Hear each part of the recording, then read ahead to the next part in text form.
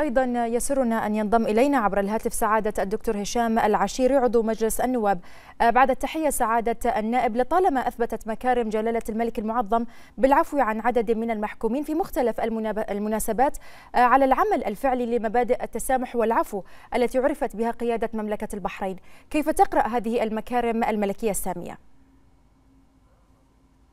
بسم الله الرحمن الرحيم. بداية نشكركم على هذه الاستضافة.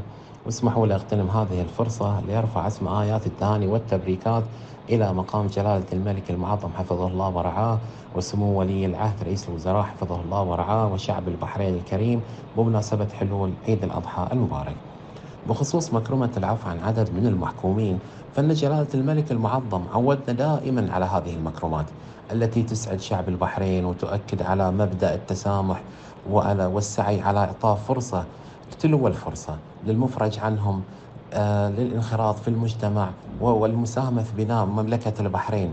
تعزيز أيضا لمبدأ حقوق الإنسان والحفاظ على النسيج الاجتماعي واللحمة الوطنية في المجتمع البحريني وإسعاد كافة الأهالي أهالي المحكومين الذين يسعدون في هذه المناسبات في الأعياد حين يرون أبنائهم موجودين معهم في هذه المناسبات.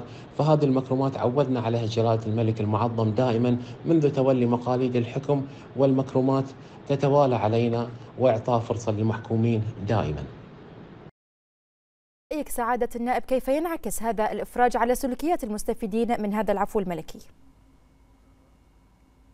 كنا نذكر توجيهات سمو ولي العهد رئيس الوزراء في العمل على إدماج المحكومين المفرج عنهم في الحياة المدنية والمجتمع المدني وهذا ينسجم مع السياسة اللي تصير عليها وزارة الداخلية بقيادة معالي الشيخ راشد بن عبد الله آل خليفة وزير الداخلية ودعم ومساندة من سعادة الشيخ خالد بن راشد آل خليفة مدير عام الإدارة العامة لتنفيذ الأحكام والعقوبات البديلة وهي العمل على إدماج المحكومين في المجتمع عبر تقديم مجموعة من البرامج التدريبية والإرشادية والعمل على متابعتهم لعدم عودتهم للسلوك الخاطئ. وتعتبر هذه فرصة فرصة كبيرة جدا لكل محكوم لبدء حياة جديدة وطي صفحة الماضي والاندماج في المجتمع المدني والمساهمة في بناء وتطوير مملكة البحرين. نعم سعادة الدكتور هشام العشيري عضو مجلس النواب شكرا جزيلا لك.